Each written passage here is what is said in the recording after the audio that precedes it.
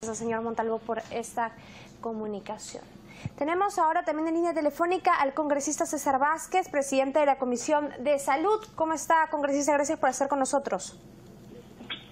Buenas tardes, Carla. Un gusto también para mí comunicarme con ustedes. Bien, ustedes van a llevar ayuda a esos afectados eh, por el incendio forestal. ¿A qué comunidades específicamente se van a dirigir? ¿Cuál es la que está en estos momentos más perjudicada y qué tipo de ayuda se va a llevar? Sí, en estos momentos la zona más afectada es la zona de Querocoto. Querocoto es un distrito altoandino que está cerca también a San Juan de Licupís y a Miracosta, donde acaba de, hablar su alcalde. O sea, el fuego está fuertemente iniciado en Querocoto, pero también hay fuego en la zona de, los distritos cercanos de Miracosta, San Juan de Licupís y distritos como Incahuasi también que pertenecen a Lambayeque.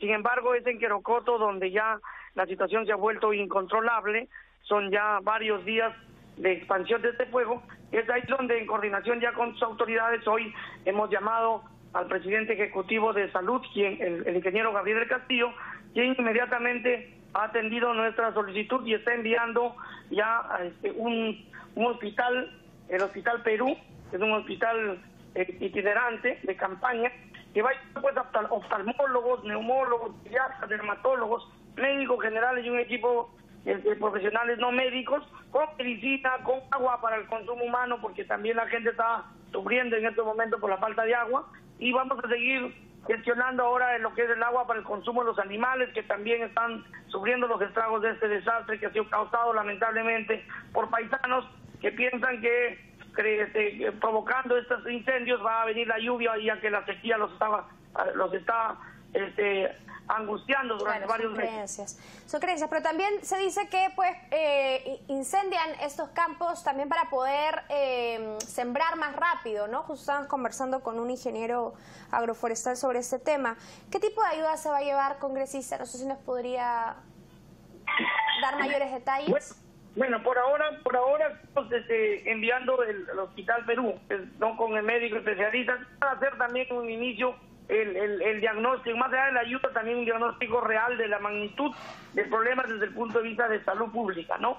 Luego de ser necesario ya llevar más apoyo de especialistas, se tendrá que continuar, ese es el compromiso que, tenemos de, por parte de salud. También ya el día de ayer he enviado en salud un equipo básico de profesionales desde Chiclayo y este equipo que llega de especialistas van desde Lima.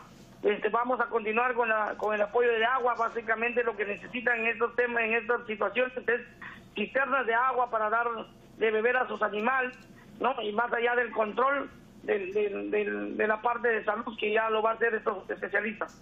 Bien, congresista, muchas gracias por esta comunicación telefónica y esperemos que esta ayuda que se está enviando a estas dos comunidades también se pueda encender a las demás que se ven perjudicadas. Muchas gracias por esta comunicación. Vamos a hacer ahora una pausa y regresamos con más en primero a las 12.